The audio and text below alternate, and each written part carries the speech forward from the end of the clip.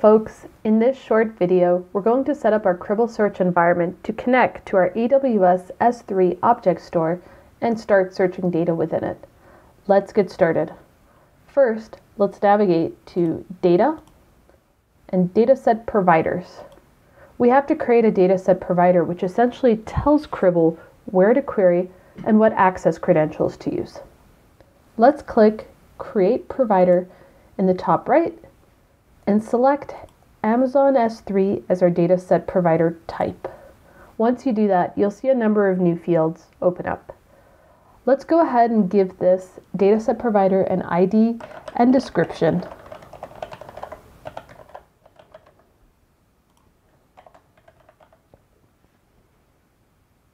You'll notice here there's two authentication methods that are supported.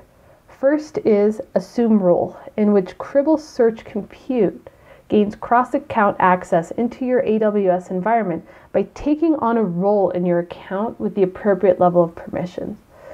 The second is through a combination of an access key and a secret key. In this tutorial, we're going to cover the first method, assume role. So we'll need to create a role and the appropriate policies in our AWS environment. But before we do, let's take a quick peek at the two items we're going to need. First is our trust policy. This will be the policy that allows our Cribl Search Compute to assume the role we're about to create in our AWS account. One thing of note over here, there is a field called external ID that needs to be populated. If you do plan on using this, just be sure you update it to something relevant in your environment. The second item here is the permission policy. This is the policy that's going to give explicit access for our role to access our S3 bucket. You'll notice a couple spots here to update with the name of your S3 bucket that you want to search. Let's copy both of these policies as we're going to need them shortly. From here, let's go ahead and switch context to our AWS console and navigate to the IAM service. We're going to start by creating our resource policy we're going to use for the role. So let's navigate to policies and in the top right, create policy. Let's toggle the JSON button on the top to expose the JSON editor and let's paste the policy here from our Cribl search screen. I've edited mine to reflect the S3 bucket I plan on searching. Once you're done over here, click Next and give the policy a name.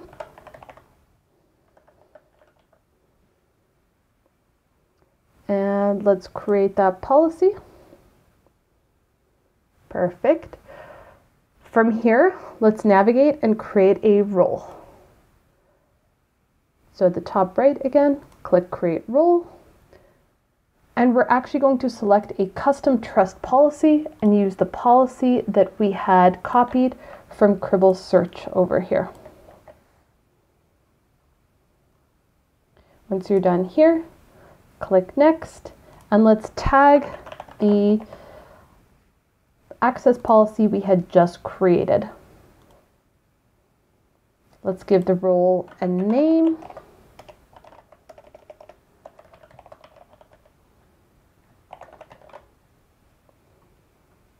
and click create rule. Let's go ahead and find our rule.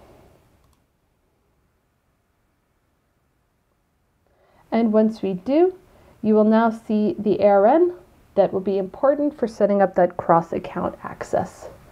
So let's copy that over here and return to Cribl Search to continue configuring our dataset provider. With that ARN, we can now populate the authentication section down below.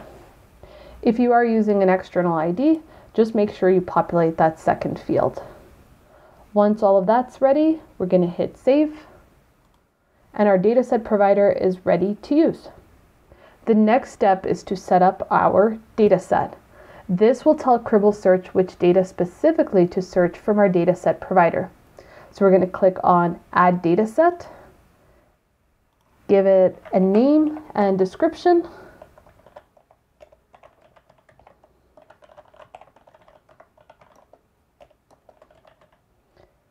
And let's select the provider we just created.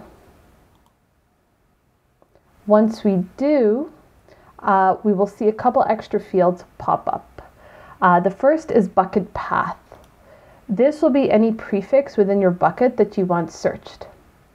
In my case, I have my bucket name as well as an archive prefix um, and then some tokenized time-based uh, prefixes that I want to add. If you have any path filters um, you want added, you can go ahead and add them into your path filter uh, and this field here accepts any JavaScript expression. Lastly, let's toggle to processing. Here is where we can specify any specific data types we have for that data. In my case, I have some logs nested within an underscore raw field, so I'm going to use the Cribl search underscore raw data type and move it to the top. Order of operation matters here. Once that's done, let's hit save and our data set is ready to search. So you can either navigate back to the home page and start a search there, or you can leverage the search action button on the dataset page to get started. Once you do, it'll pop up in a separate search window here and return any search data that you have from that S3 bucket. So there you have it, some logs returning from my S3 bucket with Cribl Search. Thanks for joining.